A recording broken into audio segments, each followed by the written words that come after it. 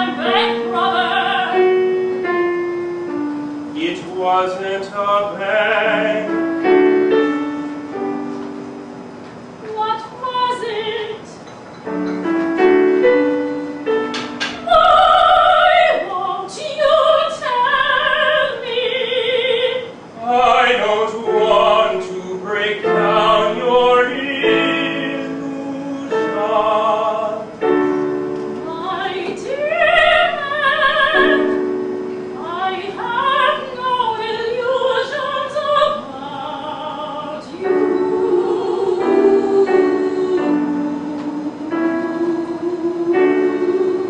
I mean your illusions above.